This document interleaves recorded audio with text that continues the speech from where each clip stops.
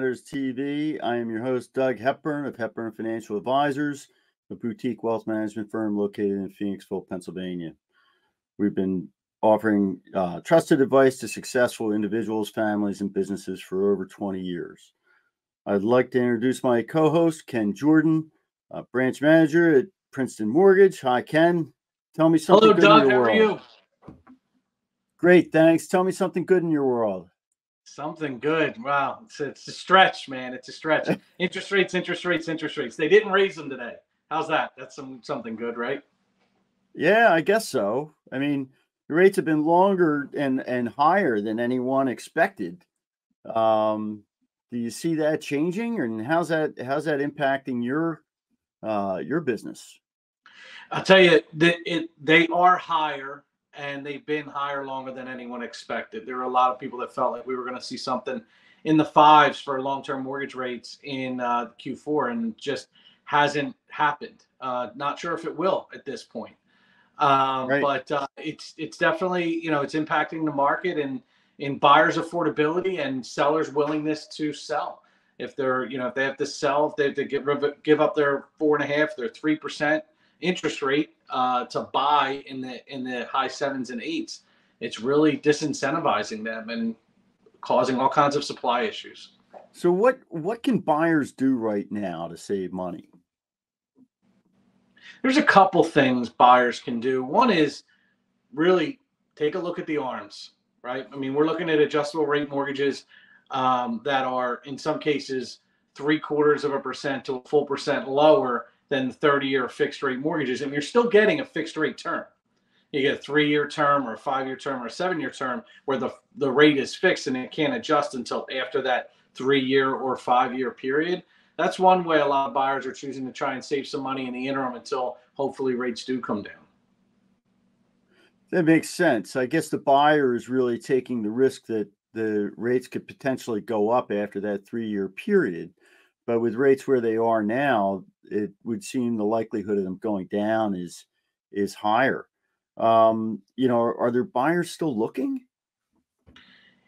Yes, that's the crazy part. The buyer, there are still buyers out there looking. There are plenty of households and families that are not necessarily rate sensitive, um, but they are cash strapped, and I think they're still struggling because then and the supply is still low. So you know we're seeing competition on single family homes between 250 to 500,000, 600,000 dollars. Competition is still very very high among those among those uh, those properties because there's just not enough supply out there. Uh, I think that if supply increases and we start to potentially see some price reductions, I think what we'll also see is some seller concessions that will help create buyers where there currently aren't. In other words, someone who can afford the payment, someone who wants to live in the neighborhood but just doesn't have the money for down payment and closing costs. I think you're going to start to see some concessions to lighten that burden from the from the buyer side, which would be great. Would be nice to see. So, so what does a buyer need to do to improve the chances of their offer being accepted? And it's uh it's all about preparation, Doug. It is all about preparation right now because you got to be able to strike while the iron's hot and you got to put your best foot forward. Two cliches back to back. How do you like that? But the reality is you have to you have to do the, the, the fully underwritten pre-approvals. I know not every company out there offers it, but you, you want to be able to get your file fully underwritten before you even put an offer in, um, where credit, income, assets are all evaluated and signed off on by an underwriter, because that's going to really position you and and, and for, for success. It's going to allow you to close quickly, and it's really what the sellers are looking for right now. They want to make sure that they remove as many variables as possible, because they may be taking an offer that's actually not as high for stability purposes. You know, uh, someone who's who's far more qualified, maybe offering a little bit less. They're relying on those qualifications and are relying on the buyer's ability to close quickly and and and, and effortlessly right now. So uh, so that's the best thing a buyer can do, you know, in this market to to prepare for uh, you know for putting in an offer. Great, that's That's very good advice. Speaking of interest rates, though, Doug, how how are interest rates impacting your clients' portfolios? What impact is the uh, the higher rates having on your folks? Well, you know, a lot of people uh, look to bonds as as sort of the ballast in a portfolio, a stabilizer, if you will, because generally speaking, you know, money is going to move to the most is fungible. It's going to move to the most efficient users, and when stock prices go down, those funds you it's usually because there's more sellers than buyers.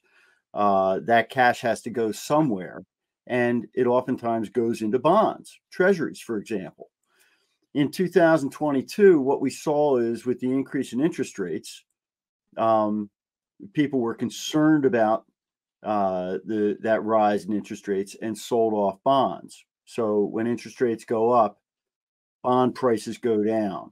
You could buy a bond today for thousand dollars, earning four percent, and then six months from now, if if somebody can pay thousand dollars for a six percent bond, are you going to get a thousand dollars for your four percent bond? No. But if you hold it to maturity, you'll get your thousand dollars back, and you'll get interest at four percent per year until such time as as your bond matures. Well, during that intermittent time between the time a bond is sold and the time it's, it's matures, that price is going to fluctuate. Well, one of the things that we've seen recently is that bonds at the longer end of the term, meaning like 20 year treasuries and 30 year treasuries, have actually gone down dramatically in price because interest rates have gone up. It's starting to happen at the long end of the curve. And that unfortunately for those people who are had were positioned at the long end of the curve, they felt that in their portfolio. Generally speaking, though, when interest rates rise, most managers will reduce their what's known as duration uh, and put more money, more fixed income in the port uh, positions in the portfolio at the shorter end of the curve. T bills, two years, because that that is less likely to be impacted by the fluctuation in interest rates. Sure. So do you see? Do you expect the? Do you expect that trend to continue? That's a great question. You know, the only way to know is to see things play out. But uh, as we've seen recently, the Fed has kind of paused on interest rate hikes. I think there's a number of reasons for that. One, you know, we've got uh, we, we've seen uh, some areas of the market in terms of inflation, uh, some inflationary indicators actually come down so the rate of increase in prices has actually slowed down, which is a good thing. And that's the whole reason why the Fed's raising interest rates is to combat inflation. Um, but with geopolitical risk, with the Treasury issuing more bonds, that's had what we call a, a technical impact on on bond prices, meaning, you know, with more supply than there is demand, prices are are going to go down. Right.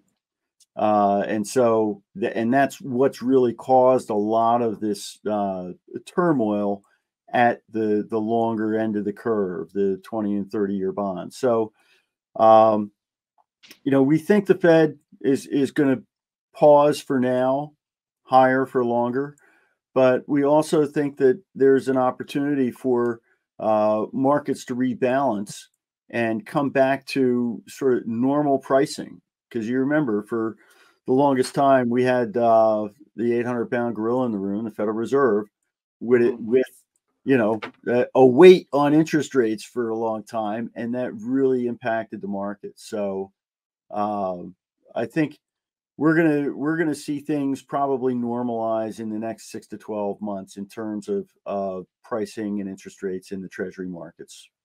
Yeah, from your lips to God's ears. Yeah, yeah. Well, I I hope it's I hope I'm right too.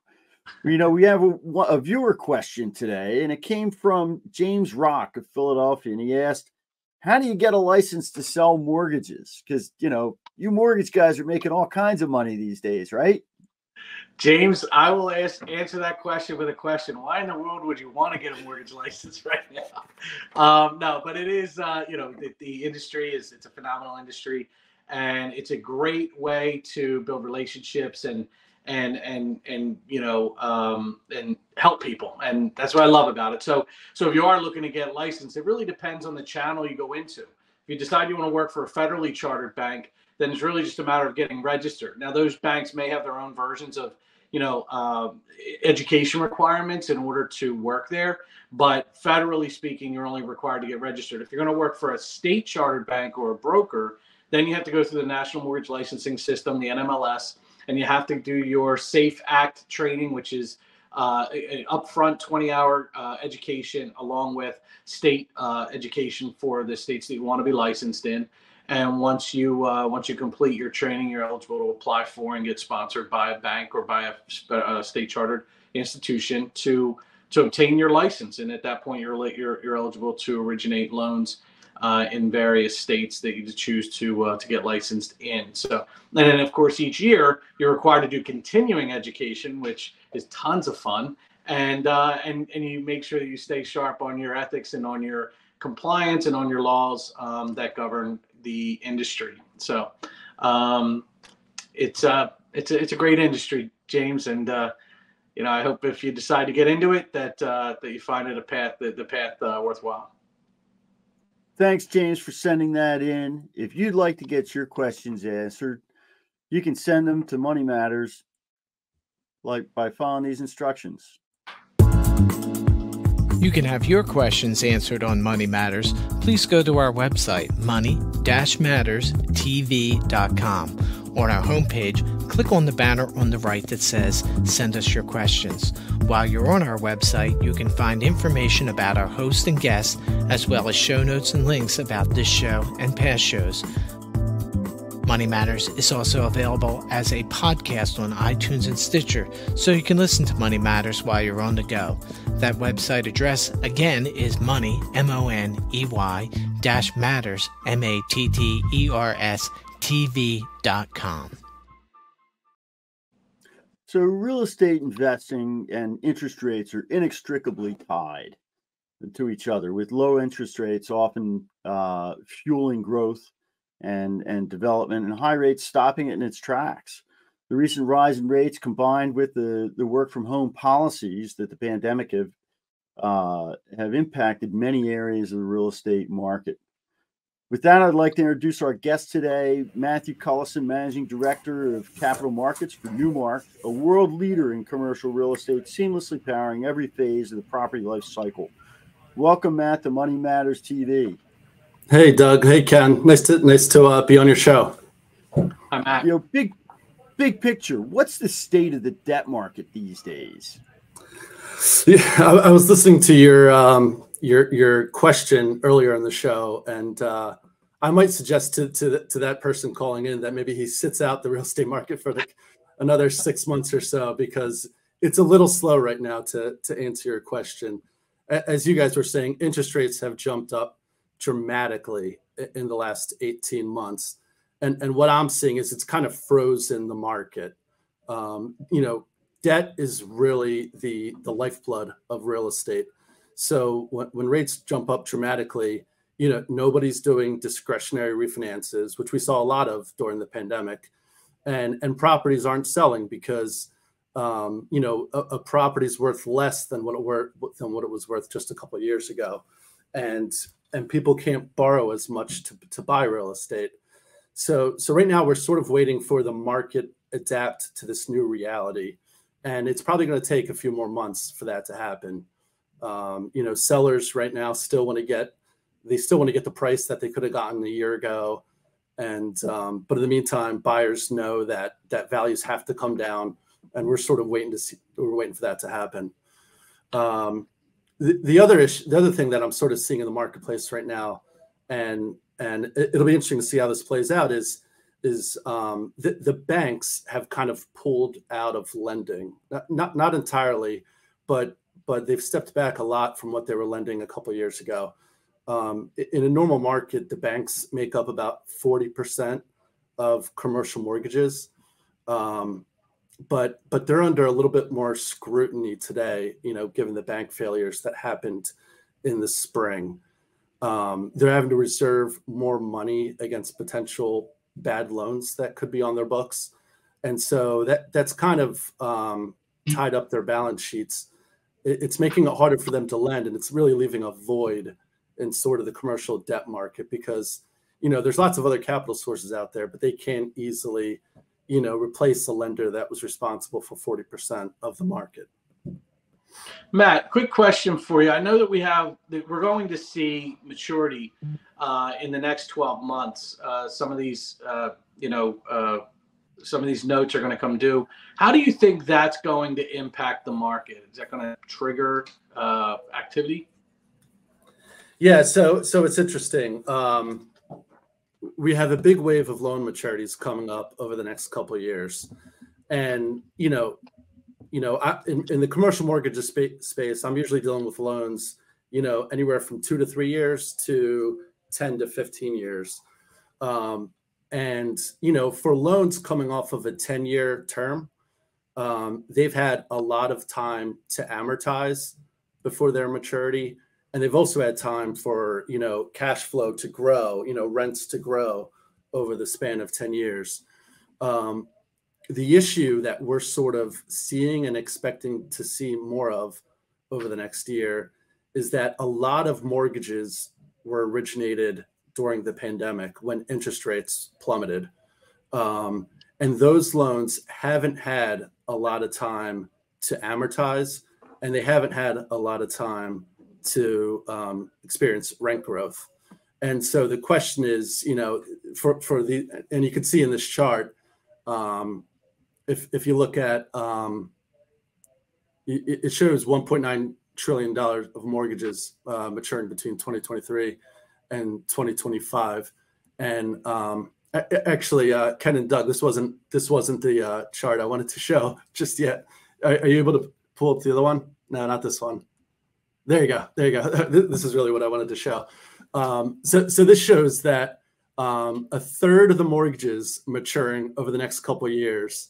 Um, if you look at the, the, the dark gray highlighted section, um, those were all originated during the pandemic between 20 and 2021. So that's when interest rates were at all-time lows and values were at all-time highs. And so those those loans are going to be maturing you know in, in the span of over the next couple years and they've only been they've only been around for three or four years. So they, there hasn't been a lot of time for amortization and there hasn't been time for the for the rent to grow. So the big question is um, you know how are these loans going to exit at rates significantly higher than where they were started um, and and and i guess just to just to give you a little example um, um let, let's say you had an apartment property that was generating a $1 million NOI in 2020. Um, that would have qualified for a mortgage of, of, of about 15.8 million in 2020 at a 3% interest rate. Um, over the span of three years, that, that mortgage could have matured, it could have amortized down to a $14.8 million balance. Um, so, so flash forward to today uh, interest rates for that same property would probably be about 7%. So 3% to 7%. Um, let, let's assume that maybe rents have grown 5% a year over the last three years. So that same million dollar NOI might be up to, you know, 1 million 160. At, at a 7% interest rate, that property is only going to qualify for an $11.6 million mortgage. So that's, so that's four, so it's I'm four sorry. million less it's four million less than what it would have qualified for in 2020. Wow. That that's that's what I was going to allude to is that you know that big swing has got to be painful. Yeah. So so if you do the math for for mortgages that were being originated in 2020 and 2021 at, at all time low rates, um, if they're maturing today and if they have to be refinanced today um, at at the same constraints. And typically, lenders are sizing to a 125 debt service coverage. So that means they want the property cash flow to exceed the mortgage payments by 25 percent. Um, pr- properties probably have to have grown uh, their net operating income by 45 to 50 percent over the last three years to be able to refinance at that same loan amount. And that that's a, that's a, that's going to be a challenge, I think, for a lot of mortgages maturing over the, the next couple years. And, you know, it sort of remains to be seen quite how that's going to play out. I mean, yeah, I, can I could see that creating a lot of pain for, for the, the lenders. Who are the, the big lenders that have exposure in this market? Yeah, I mean, and so that yeah, so that's the other interesting thing. So um, if if you could pull up the uh, the other chart that I there there you go. So so over the next couple years, um, banks have a lot of exposure in the commercial mortgage market. Um, they're lenders that typically lend on shorter term durations. So a lot of their mortgages will be, you know, construction loans, two to three years, or or permanent loans up to five to seven years. But but they were very active uh, lending on commercial real estate um, over the past five years, and so so they have a lot of maturity exposure um, coming up, and and you know that that's you know that that's where I where I think there's going to be some pain, um, th- and they're also just not easily they're not as easily able to refinance or extend those mortgages as well because under more regulator scrutiny. Um, so um, so um, yeah, so we're- so so uh, you know we're, we're expecting to see more of this over the next twelve months. The the other lender that was um, the uh, the, the this the dark green um, segment of those of those bar charts, those are debt fund loans. Um, they were also a very active um, lending product during the um, during the pandemic, um, and they were mostly floating rate mortgages. And, and and in most cases, when borrowers were were taking out those mortgages, they were required to buy rate caps to kind of minimize their rate exposure over a, a two to three year term. But now now you have those rate caps are expiring, um, and and and and to purchase a replacement cap today, with with with you know with short term rates having increased from 25 bips to five and a quarter, you know th- those rate caps are a lot more expensive, and so so you know borrowers that have to refinance out of those floating rate loans, th- they're also going to be challenged because the rate caps are more expensive, the floating rates are more expensive, and there's a good chance that you know um, that their properties aren't going to qualify for the same amount of debt that they were able to borrow a couple years ago.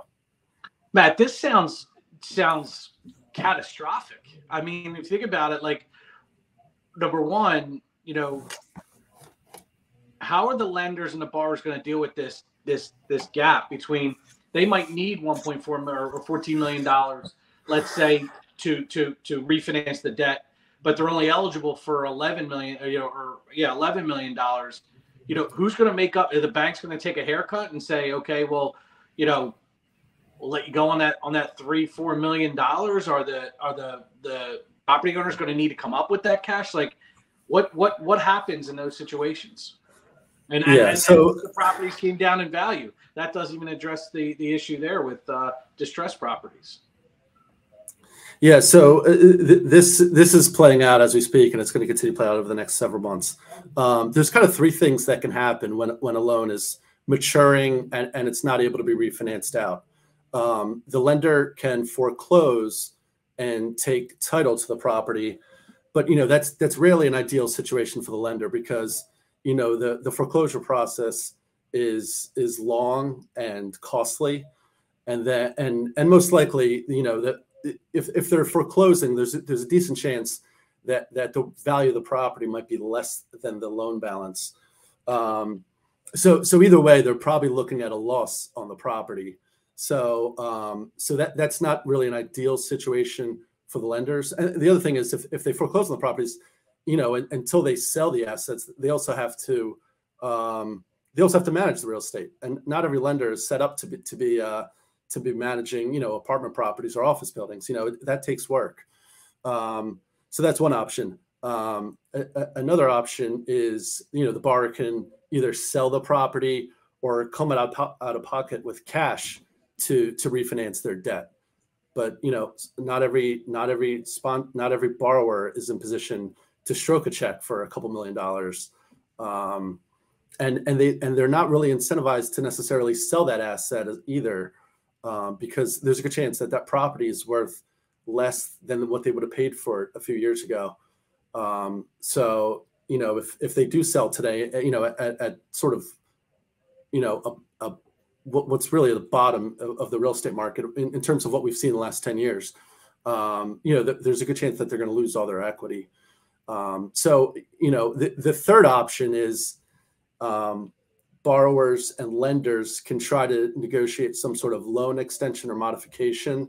This can give you know both sides a, a chance to either grow the cash flow a little bit or or you know wait for a better interest rate environment you know that'll help them you know refinance out of their current loan um, but you know it, it, that's that's a conversation that has to play take place and it and it raises some interesting questions. You know are interest rates actually going to be better in a year so that extending the loan is is going to um, really improve the lender's position? Um, right.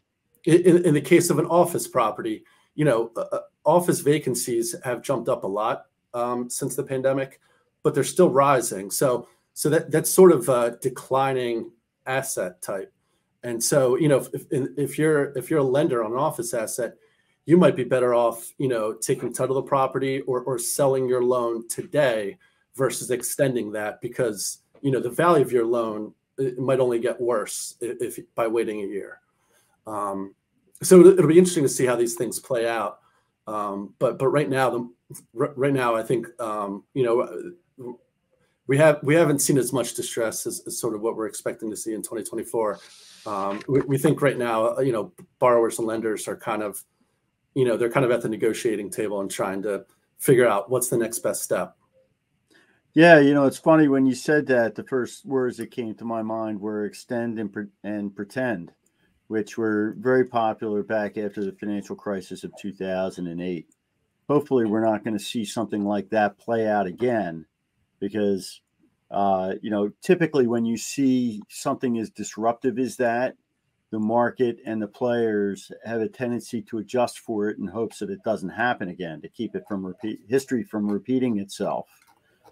This has really been great, Matt. You know, we uh, and thank you for being our guest today and providing such informative and insightful information for our viewers. Uh, I also want to thank Ken for for co-hosting.